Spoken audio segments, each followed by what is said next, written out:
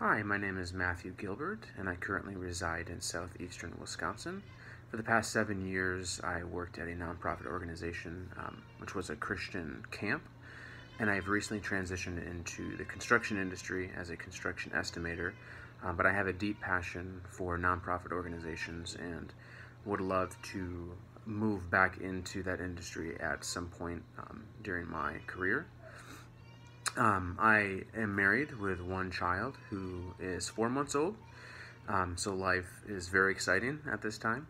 Um, I am involved in church and play drums um, with the worship team, and I just hope to learn more about uh, torts within this specific class, and you know how it could apply to you know nonprofit organizations or even um, the the organization that I currently work for um, within the construction industry.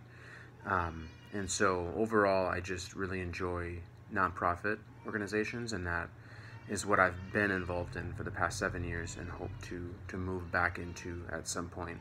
Um, and that's the degree that I'm going for, and so I hope that it is beneficial to my career. I look forward to working with all of you in this class.